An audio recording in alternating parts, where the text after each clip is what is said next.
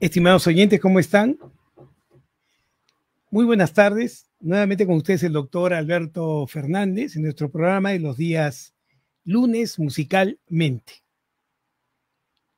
Hemos sido puntuales, dos de la tarde como siempre, y hoy quiero conversar con ustedes un tema que es sumamente importante, además de ser una entidad frecuente, eh, que en muchas oportunidades quienes no están inmersos en el tema usan eh, la denominación sin propiedad, más bien de forma peyorativa y causando temor a las personas o familiares que por alguna razón conocen el término, sea porque transitan por este trastorno o porque tienen un familiar con este trastorno. Hoy día vamos a hablar de las psicosis. De repente sería importante hacerles una pequeña introducción. En el área de la salud mental, los trastornos lo podemos dividir en cuatro grandes grupos. Aquellos trastornos en los cuales más bien lo que se altera es el estado de ánimo, también llamado afecto o emoción. Ahí tenemos pues el grupo de los trastornos como la depresión, el trastorno bipolar, la distimia, las ciclotimias, etc. El otro gran grupo de trastornos del área de la salud mental son aquellos denominados neurosis, donde el paciente lo que tiene más bien es un temor constante sobre lo que le sucede y lo que le podría en el futuro pasar. Dentro de este grupo están los trastornos de ansiedad, el trastorno de estrés postraumático, el trastorno obsesivo compulsivo, también se involucran los trastornos de personalidad. Luego tenemos aquel grupo de trastornos de la salud mental que se producen más bien como consecuencia de daño cerebral, es decir, por accidentes, por enfermedades sistémicas, por eh, problemas vasculares como accidentes cerebrovasculares, etc. Porque en estos casos los síntomas corresponden o son secundarios a estos trastornos. Se llama síndrome orgánico cerebral. Y por último, tenemos el gran grupo de la psicosis, ¿no? Y dentro del grupo de la psicosis está, por supuesto, las ideas delirantes, está la esquizofrenia, etcétera, etcétera. Entonces, la característica más importante de la psicosis es que el paciente que transita por este trastorno pierde el contacto con la realidad. Es decir, que por alguna razón tiene dificultad para leer o percibir la realidad como normalmente se debe dar o se interpreta la realidad de manera incorrecta o inclusive puede transitar por síntomas que le hacen percibir objetos, ideas o situaciones que en realidad no están presentes. Estas características hacen que el paciente se desconecte de lo que realmente pasa a su alrededor y tenga una interpretación propia su generis de lo que está sucediendo dentro y fuera de su entorno, dentro de él y fuera de él. Entonces, esa es la característica del gran grupo de la psicosis. Entonces, siendo estrictamente académico, nosotros diríamos entonces que la psicosis es un término que se emplea para referirse a aquellos trastornos de la mente que se caracterizan por cierta pérdida del contacto con la realidad. Cuando una persona sufre este tipo de trastorno, se dice que ha tenido un episodio psicótico. ¿Estamos de acuerdo? Entonces, el episodio psicótico, que puede tener eh, eh, diferentes duraciones, ahora lo vamos a ver, se caracteriza entonces porque el paciente tiene una pérdida relativa o absoluta del contacto con la realidad. Muy bien. Y ustedes me preguntarán, ah, Bueno, esa es la psicosis. Yo conozco muchas personas que pierden contacto con la realidad, pero hay que tener cuidado al decir esto porque, primero, cuando uno entra en un cuadro psicótico, el cambio con respecto a la percepción de la realidad del individuo es abrupto, es claro. Los familiares se dan cuenta que el paciente está perdiendo ese contacto por la forma en que interpreta lo que pasa alrededor de él. ¿Estamos de acuerdo? Entonces es un cambio importante, ¿no? No son personas que eh, por características personales no interpretan las situaciones eh, con algún este, matiz o, un, o una arista diferente a la de uno, ¿no? No, por ejemplo, no porque yo soy católico, voy a pensar que los musulmanes están psicóticos. Por supuesto que no, ¿no? O no porque yo soy del partido A, voy a pensar que los del partido B están psicóticos. No porque soy de Alianza Lima, voy a pensar que los de universitario están psicóticos, ¿no es cierto? No se refiere a eso. Se refiere a un contacto inadecuado con la realidad que le impide una conducta funcional con, en relación a su capacidad de adaptarse y a su capacidad de relacionarse con los demás. ¿Bien? Entonces, ¿la psicosis es frecuente? Sí, la psicosis suele ser frecuente. Se calcula que 3 de cada 300 jóvenes pueden sufrir un episodio psicótico y afecta fundamentalmente a los jóvenes adultos fundamentalmente. Es bastante común a esta edad, ¿no? Y la mayor parte de los afectados, esto es importante que lo sepan, consiguen una plena recuperación de su trastorno. Por eso, lo primero que hay que dejar de pensar es que la psicosis, que vulgarmente se dice volverse loco, es un proceso que, si se presenta, va a ser permanente. No. Sí es verdad que algunos trastornos del área de la salud mental pueden generar psicosis y que estas psicosis pueden producir alteraciones de larga duración. Sí, pero la mayoría de las psicosis, como les digo, se terminan por resolver. Lógicamente, como cualquier enfermedad, la psicosis es susceptible de tratamiento, aunque debo aclarar también que hay episodios psicóticos donde no es necesaria una intervención importante. Ahora vamos a ver, por ejemplo, si yo me voy con mis amigos, no estoy acostumbrado a tomar en grandes cantidades, voy a una reunión y sufro una intoxicación alcohólica, puedo entrar en un cuadro psicótico, donde altero mi percepción de la realidad, altero mi percepción visual, comienzo a ver objetos, animales, que en realidad no se encuentran ahí o comienzo a escuchar voces de personas que no están presentes. Ese es un cuadro psicótico, pero sería resultado de una intoxicación alcohólica. Bastaría con que yo espere que ese proceso termine, que la intoxicación se resuelva y probablemente el cuadro psicótico también se va a resolver. ¿No es cierto? Entonces, como les digo, los cuadros psicóticos pueden tener resolución sin una intervención mayor. Y entonces debemos tomar en cuenta que la intervención en relación a la psicosis tendrán eh, intensidad e importancia en relación a aquello que origine la psicosis. Pero en general, ¿cuáles serían los síntomas de la psicosis? La psicosis suelen provocar cambios en el estado de ánimo y en la forma de pensar dando lugar a ideas que pueden ser ideas inadecuadas o irracionales, por lo que resulta difícil entender a lo que está sintiendo la persona afectada.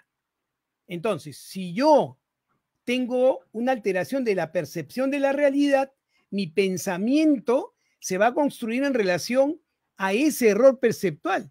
Por lo tanto, se alterará mi pensamiento. Y es el pensamiento el que va a regular, por supuesto, mi estado de ánimo. Entonces, mi estado de ánimo también se va a afectar. Y si yo planifico mis conductas en relación a esa alteración del pensamiento, mis conductas serán inadecuadas. Entonces, es lógico pensar que si yo estoy transitando por un cuadro psicótico en donde tengo claramente una pérdida del contacto con la realidad, mi pensamiento, mi afecto y mi conducta van a cambiar radicalmente y quienes me rodean van a notar que algo me está sucediendo y probablemente no entiendan lo que yo vaya a hacer. Entonces, si nosotros eh, tomamos los síntomas y los unimos por grupos, el primer grupo de síntomas y probablemente el más importante va a ser el pensamiento confuso. ¿no? Claramente cuando se inicia un cuadro psicótico, uno entra a un pensamiento claramente confusional. Y entonces, al volverse confuso, ¿no? Claramente quienes me rodean se van a dar cuenta que mi pensamiento, la construcción de mi pensamiento, no está acorde con la realidad. ¿No es cierto? Les voy a poner un ejemplo. Vamos a suponer que yo estoy caminando por la calle, ¿no? Y entonces veo pasar un patrullero. Quien no está en un estado psicótico, ¿no? Va a mirar el patrullero y dirá, bueno, la policía está patrullando, qué bueno porque protege esta calle, ¿no es cierto? Pero si yo estoy en estado psicótico, al igual que la persona que no está en este estado, voy a percibir que estoy en la misma avenida, que estoy caminando, voy a ver el patrullero, pero ¿qué voy a pensar? Voy a pensar que más bien me están vigilando, que ese patrullero ha sido mandado por alguien que me vigila y que quiere saber qué cosa voy a hacer porque de alguna u otra forma represento peligro para esa persona. Entonces yo llego a mi casa, ¿no? Y le digo a mi esposa, amor, ¿sabes qué? Me están persiguiendo. La policía me persigue, los patrulleros están detrás mío. ¿Pero por qué? No lo tengo claro, pero creo que debe ser porque la otra vez con un amigo hablé mal del presidente de la República. ¿Se dan cuenta? Entonces se va construyendo lo que se conoce como un delirio nacido de un, una desconexión de la realidad al interpretar una situación determinada. Y entonces ahí empiezan este grupo de síntomas que llamamos pensamiento confuso. Además, el pensamiento se comienza a acelerar o enlentecer. Y no entiendo por qué me está pasando eso. De pronto pienso en, en cosas con una velocidad vertiginosa y de pronto mi pensamiento se comienza a enlentecer y tengo dificultades para poder entender lo que está pasando alrededor mío. ¿No es cierto? Y todo esto puede ser, como les digo, parte de los síntomas del inicio de un cuadro psicótico. Muy bien. Tenemos también las creencias falsas, es decir, como les decía, originado de esta pérdida de contacto con la realidad, yo entonces construyo con mi pensamiento un delirio, porque ya saben ustedes, el ser humano, si hay algo que el ser humano no puede soportar, lo hemos conversado varias veces en este programa, es la incertidumbre. Y entonces si yo camino por la calle, veo un patrullero y pienso que me está persiguiendo, ¿no es cierto? Lo primero que tendría que resolver es por qué me persiguen. Y si yo no entiendo por qué me persiguen o no encuentro una explicación, voy a llenarme de angustia hasta poder resolver por qué me persiguen. Y entonces, ¿qué voy a hacer? Voy a observar lo que he estado viviendo hasta ese momento y voy a relacionarlo de repente con una situación que no tiene importancia. Como les decía, de repente el domingo en una conversación coloquial, ¿no? Eh, critiqué al gobierno actual. Y entonces digo, ah, deben estarme persiguiendo porque en la reunión había gente de inteligencia, ¿no? que se dio cuenta que yo estaba en contra del gobierno. Entonces, por eso me persigue el patrullero. Y aunque les parezca mentira, eso me tranquiliza porque ya sé el motivo, pero va construyendo un delirio. Imagínense que entonces llego a mi casa, ¿no? Le cuento a mi esposa, prendo la televisión y de pronto sale apresado una persona, ¿no? Por apología del terrorismo. Y entonces yo digo, ¿ves? Mira, están persiguiendo a todas las personas que de alguna u otra forma no están de acuerdo con el gobierno. Listo. Y entonces creo un delirio. ¿Se dan cuenta cómo el proceso va progresando? Y entonces se instala posteriormente esa creencia falsa, alucinaciones. ¿Qué cosa es una alucinación? Una alucinación es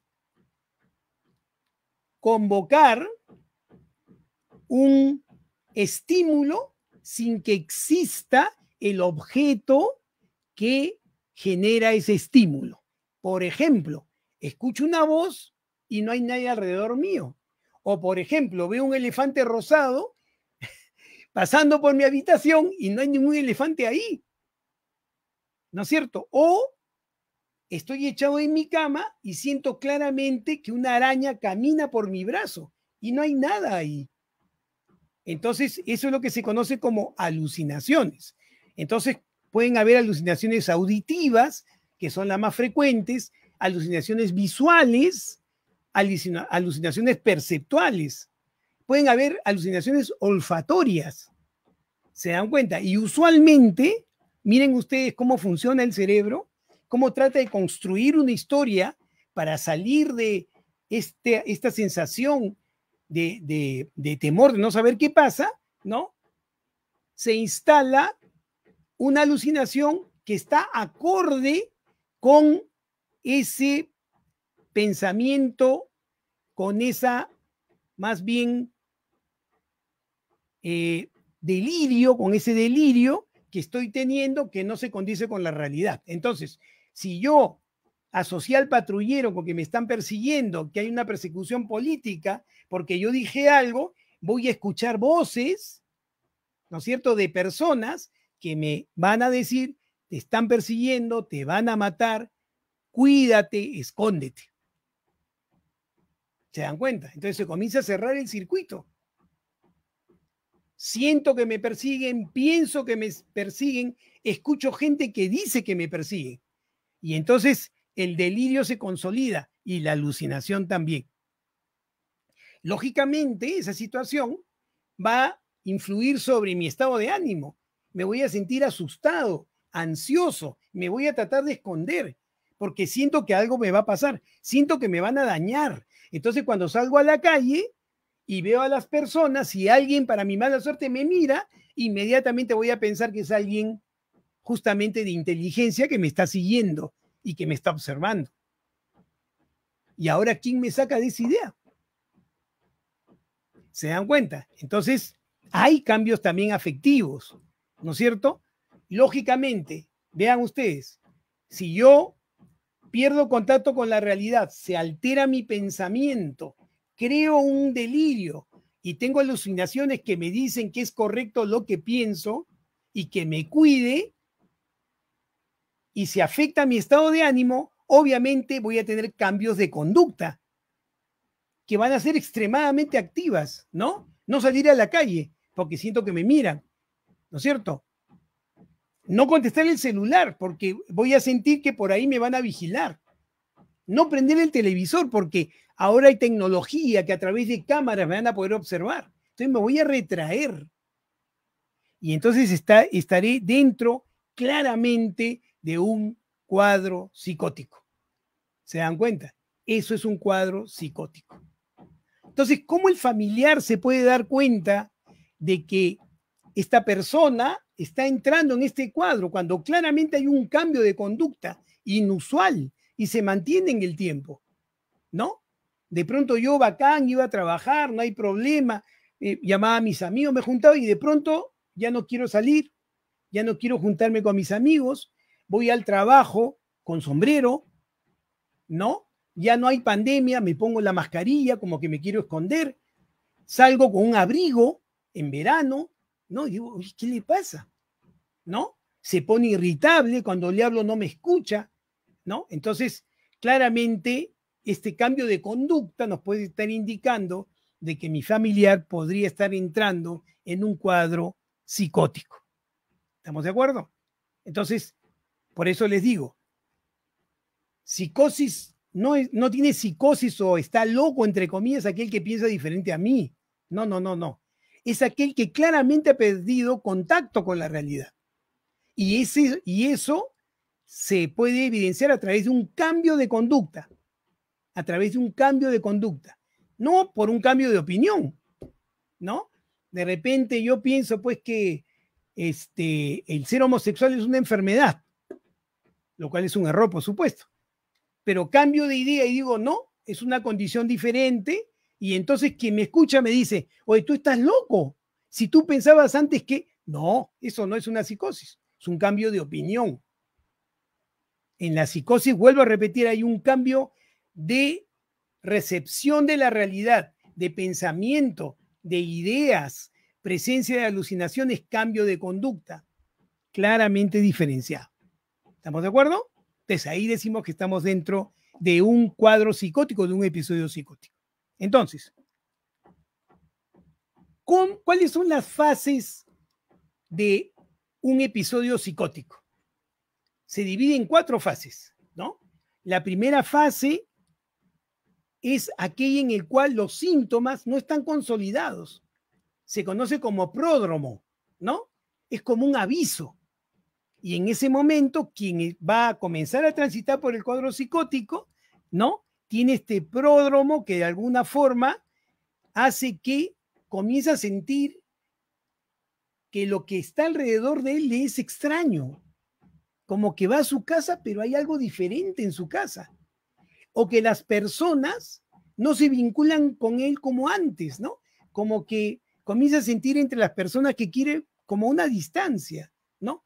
Y su pensamiento va cambiando un poco de velocidad, ¿no? Y sus emociones van alternando.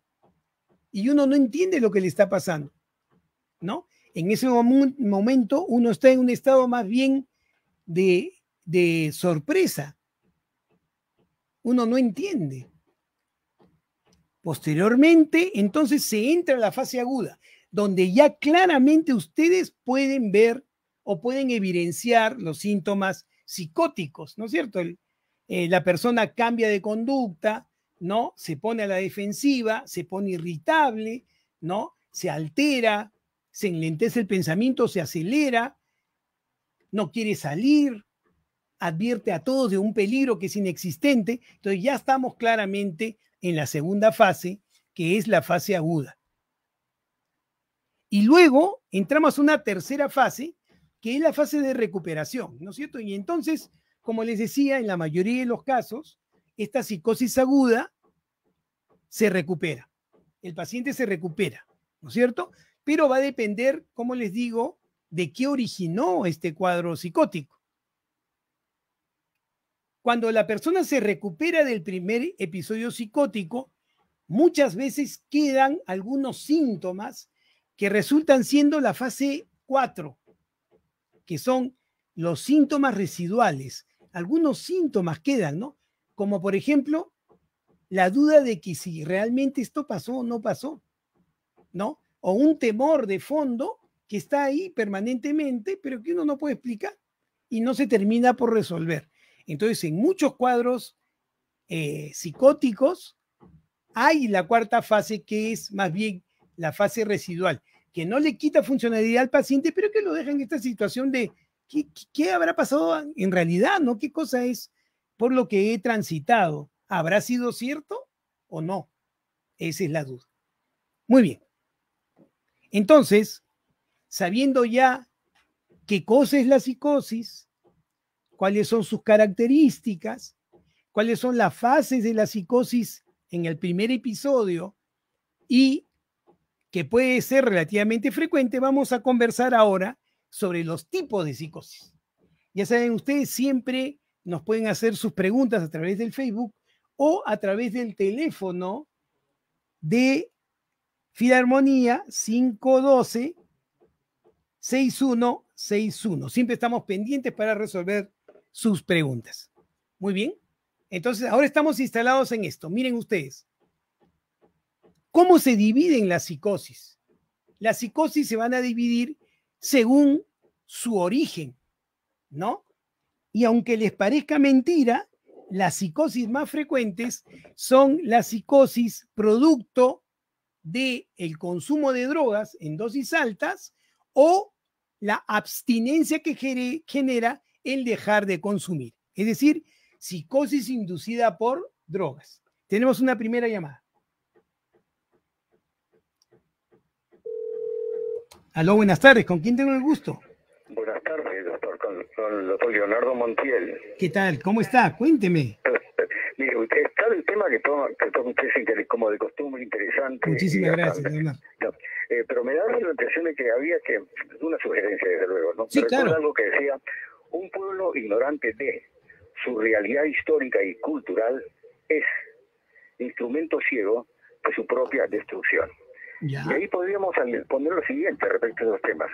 El proceso de transculturación, alienación, aunque suene duro, descerebramiento y brutalización. ¿En qué? En una especie de descomposición social. Entonces, el estado psicótico vea, el tipo de estadio de cultura en la sociedad que tiene una mayor o menor evolución, llámese global o planetaria. ¿No es acaso, la pregunta es, una colectiva sensación de seguridad, tranquilidad y libertad la que determina la causa y efecto de una cultura que se practica y optimiza su convivencia histórica? Excelente. Perfecto, perfecto. Muchas gracias por la pregunta. Siempre excelente pregunta. Miren ustedes, es, es bien importante la pregunta planteada por lo siguiente. Vean ustedes, hay varias formas de conceptualizar la psicosis. La psicosis de la que estamos hablando en este programa es la psicosis clínica, la psicosis que corresponde a específicamente un individuo determinado en el cual se ha alterado su salud mental. ¿Por qué es importante que les diga esto? Porque cuando yo digo disociarse de la realidad, estoy hablando de la realidad del individuo. Si este individuo vive en una sociedad caótica, autodestructiva, entrará en un estado de psicosis cuando su conducta y su pensamiento no se corresponde con ese grupo social. ¿Se dan cuenta? Si estamos en otro tipo de sociedad, de repente más ordenada o lo que fuera, o que imita un ordenamiento, el individuo estará en un estado psicótico si es que su interpretación de la realidad no es acorde con ese grupo social. ¿No? Les voy a poner un ejemplo. Si en el Perú una mujer no se cubre el cabello, no es ningún problema. Pero en algunos países, si la mujer no se cubre el cabello, es inmediatamente castigada. Uno diría, ¿los de ese país están psicóticos? No, porque dentro de su entorno social y cultural, esa es una conducta correcta. ¿Estamos de acuerdo? Es una conducta acorde con su realidad. ¿Ya? Entonces, yo les estoy hablando de la psicosis clínica. El individuo instalado en su realidad, independientemente de esas características, que en un momento determinado bruscamente interpreta o se aleja de esa realidad con interpretaciones que son eh, totalmente y claramente absurdas. ¿Ya? Entonces, les hablaba de los tipos de psicosis. Los tipos de psicosis más frecuentes, ¿cuáles son?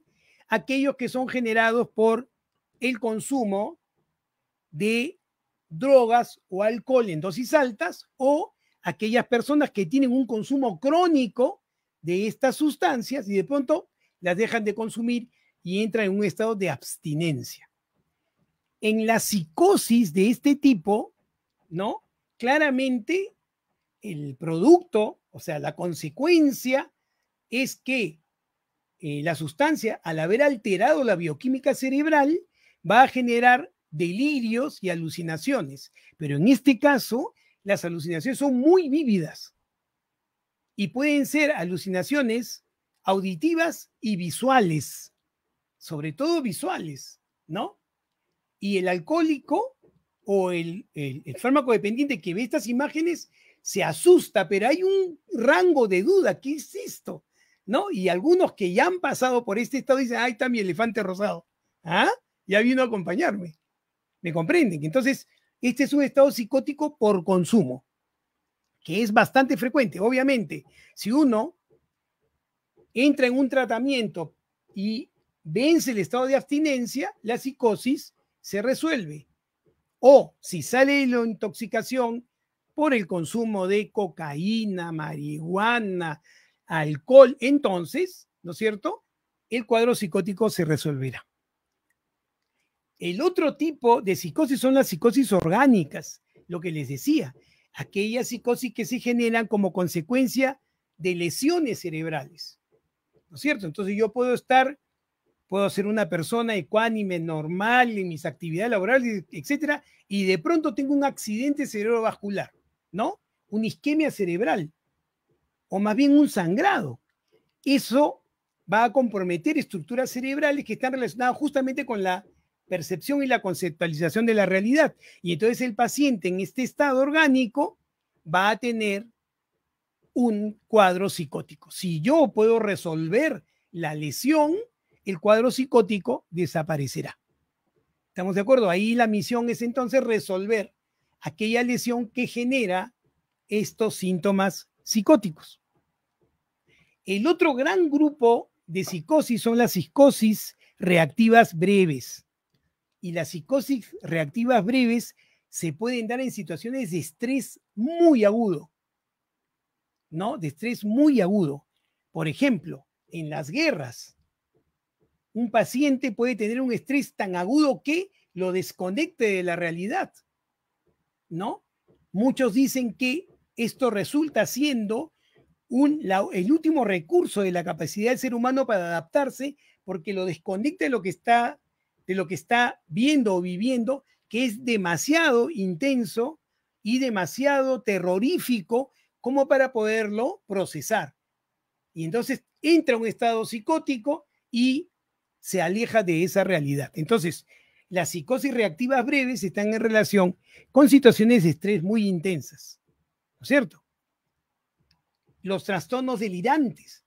Los trastornos delirantes son eh, trastornos en los cuales el síntoma fundamental es el delirio. Miren ustedes, acá ya no hay sustancias, acá ya no hay estrés. Entonces nosotros podemos intuir que los trastornos delirantes, ¿no? No se van a presentar de manera tan aguda, ¿no? Se van a ir presentando en el tiempo de manera imperceptible y se van a ir instalando hasta que se consolide. Y estos trastornos delirantes son muy difíciles de resolver. Por ejemplo, las psicosis generadas por trastornos delirantes tienden a ser más largas y tienden a recurrir. ¿Estamos de acuerdo? Entonces, el origen es importante también para saber cuál va a ser el pronóstico de ese cuadro psicótico. Y luego tenemos quien genera siempre confusión con respecto a la psicosis. Mucha gente erróneamente piensa que psicosis es igual que esquizofrenia y eso no es verdad. ¿Ya?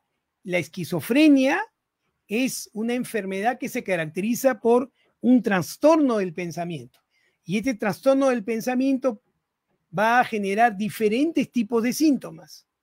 La psicosis es parte de un cuadro de esquizofrenia. Y la psicosis es una parte de la esquizofrenia. La psicosis es lo que los clínicos llaman los síntomas positivos de la esquizofrenia. Es decir, que el paciente con esquizofrenia tiene delirios, escucha, tiene alucinaciones auditivas fundamentalmente, cambia su conducta, por supuesto. Esos son los síntomas positivos. Pero un paciente esquizofrénico no está permanentemente en psicosis, no no está permanentemente exponiendo síntomas positivos, porque se pueden resolver, se pueden tratar. Sin embargo, en la esquizofrenia hay otro grupo de síntomas que se llaman síntomas negativos, donde el paciente tiene una disminución de la producción de funciones determinadas. Entonces, tiene aplanamiento afectivo, no, expresa ninguna emoción. O, por ejemplo, tiene eh, una imposibilidad de voluntad para hacer cualquier cosa, pierde la abolición. Y estos son llamados síntomas negativos, ¿se dan cuenta? O su flujo de lenguaje disminuye o se hace concreto. Entonces la esquizofrenia es un trastorno mucho más amplio que dentro de sus grandes grupos sintomatológicos tiene a la psicosis también conocidas en este, en este proceso como síntomas positivos. Muy bien. También tenemos los trastornos esquizofreniformes. ¿Qué característica tiene el trastorno esquizofreniforme? El trastorno esquizofreniforme es un trastorno muy parecido a la esquizofrenia, pero este se desarrolla en un periodo corto. Generalmente es una psicosis que se puede extender hasta por seis meses con otros síntomas muy parecidos a los de la esquizofrenia. Pero es un episodio único y usualmente no se vuelve a repetir. A diferencia de la esquizofrenia, que es un cuadro más bien crónico. ¿No es cierto? Crónico. Muy bien. ¿Dónde podemos también transitar por psicosis? En el trastorno bipolar.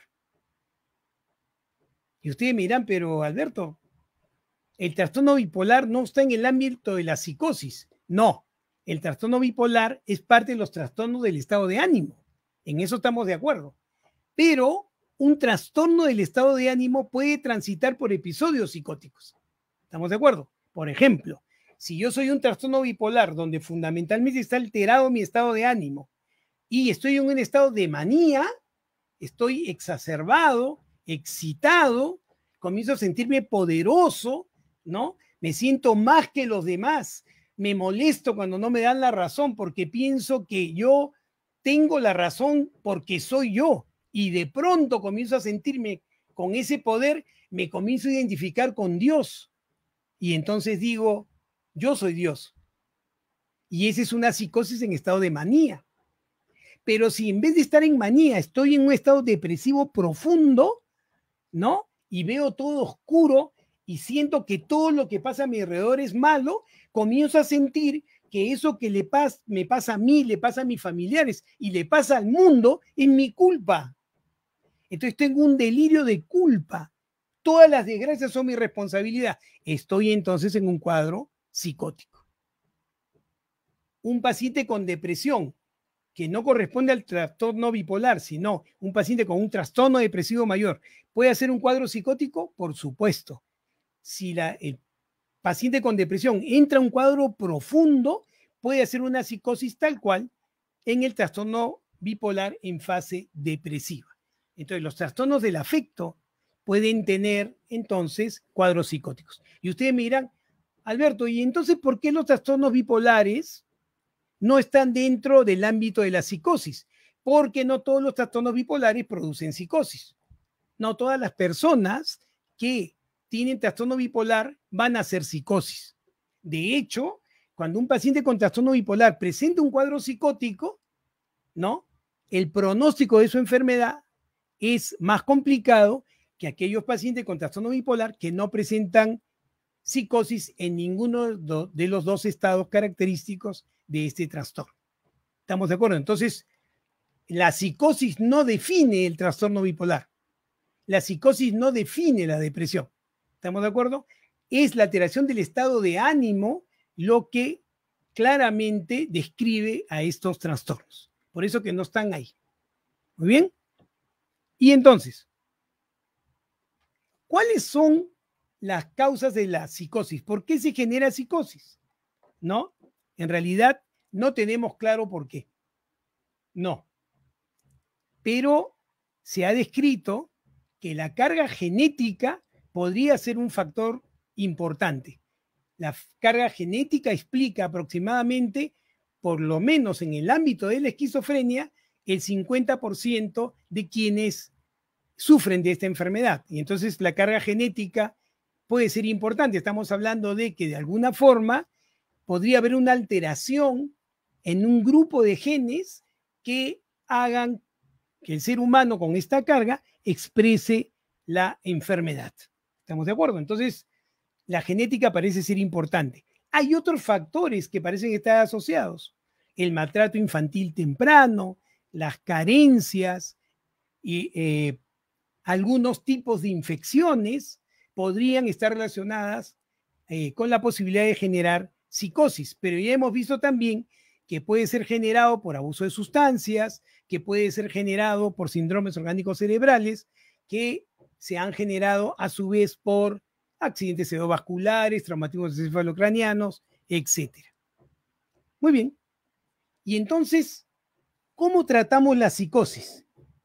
Ya con todo este bagaje ustedes pueden claramente darse cuenta que los cuadros psicóticos se tratarán en estricta relación a su origen, porque su origen determinará las características propias de esta psicosis, a qué tratamiento va a responder, pero además nos va a indicar cuál es el pronóstico de este cuadro. ¿Estamos de acuerdo? Entonces entenderán que una psicosis generada por esquizofrenia tiene un tratamiento absolutamente diferente a una psicosis generada por abuso de alcohol. O que una psicosis generada por un traumatismo encefalocraniano tendrá un tratamiento totalmente diferente a una psicosis generada por un estrés agudo. Entonces va a depender mucho de cuál sea el origen y la circunstancia en la cual el paciente debutó con este cuadro. ¿Estamos de acuerdo? Va a depender mucho de eso. Por eso que hay que tener experticia para poder determinar cuál es el origen, cuál es el desencadenante o el precipitante de este trastorno. Como hemos visto, van a haber trastornos psicóticos que se van a resolver espontáneamente una vez que el factor agresor sea resuelto. Entonces, si yo tengo un paciente que consume alcohol y cada vez que se embriaga hace un cuadro psicótico, ¿no es cierto?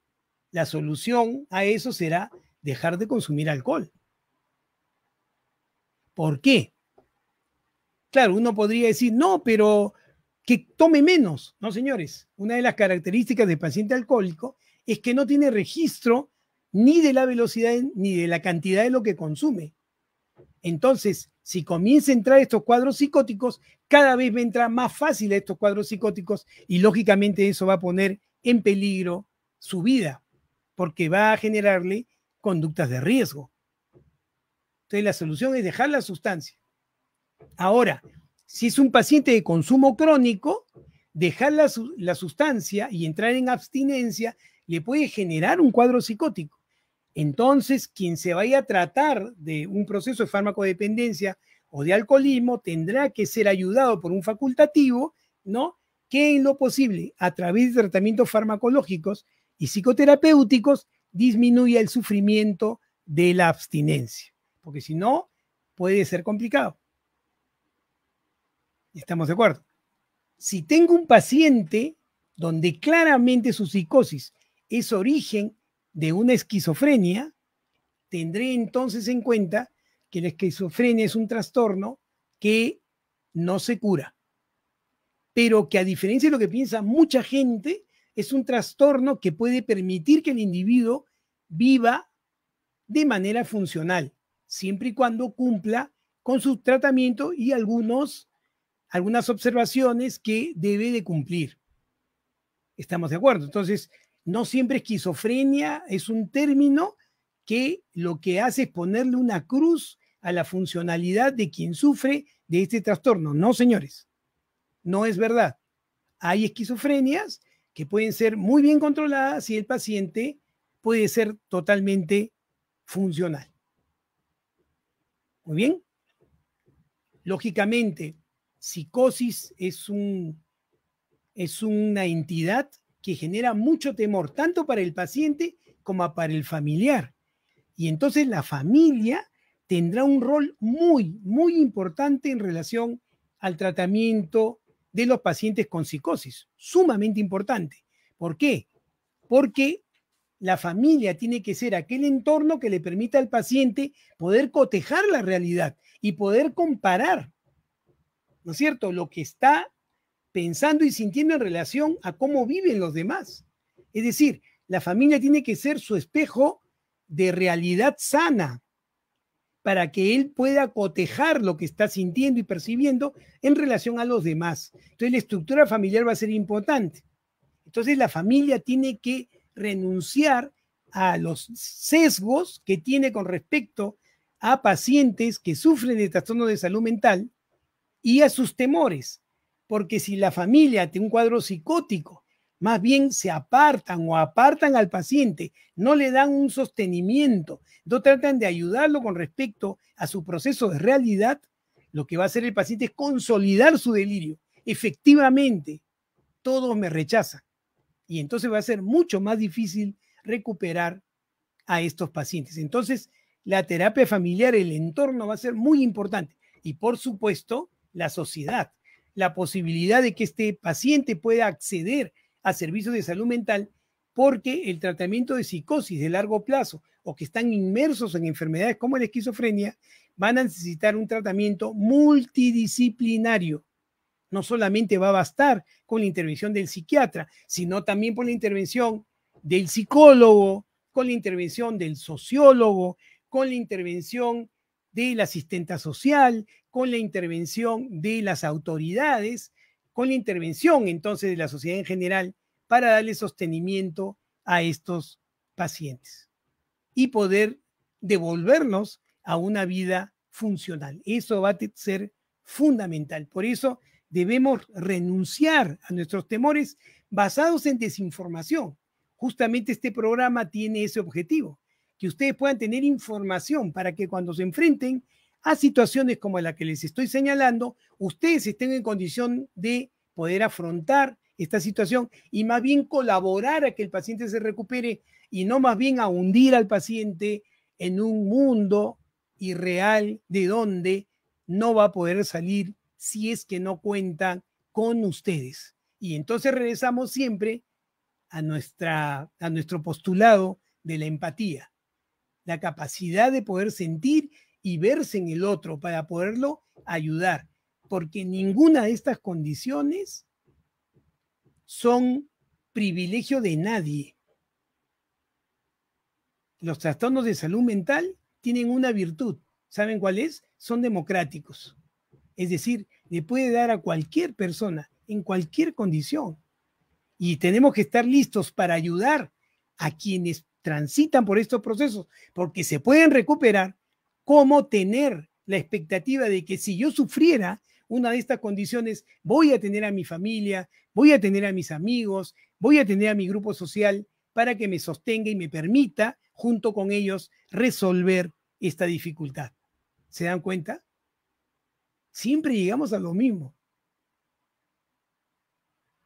Tenemos que estar unidos. No hay nada entre los seres humanos que no funcione bien si es que todo se hace en grupo en sociedad con objetivos comunes. Eso es lo que tenemos que lograr bajo cualquier ámbito, bajo cualquier ámbito. Voy a permitirme responder algunas preguntas del Facebook, nos queda un poquito de tiempo porque no, no quisiera este, contagiarles este, ningún, eh, ninguna sensación de falta de atención cuando yo mismo les estoy diciendo que lo más importante es la empatía. A ver, acá tenemos siempre con los saludos cordiales de quienes nos acompañan todos los lunes, ¿no? Ah, eh, Carlos nos pregunta, ¿la, ¿la ludopatía es un estado psicótico? No, Carlos, la ludopatía no es un estado psicótico. La ludopatía es un tipo de dependencia, igual que la farmacodependencia o el alcoholismo. Y en la ludopatía no, no se pierde la conciencia del proceso. El paciente sabe lo que está haciendo, sino que tiene una sensación irresistible de no poder dejar este proceso, pero sabe lo que está haciendo. Entonces acá no hay pérdida del contacto con la realidad, más bien hay un riesgo en la conducta. Y es menester que quienes sufran de este trastorno busquen ayuda para que le den los elementos para poder enfrentar esto que realmente, cuando es muy intenso o muy profundo, complica mucho al paciente y a la familia. Nos dice Verónica, ¿cómo diferenciamos el delirio en psicosis y el delirio con demencia? Excelente pregunta. A ver, el delirio, escúcheme bien, el delirio es una psicosis, es un tipo de psicosis.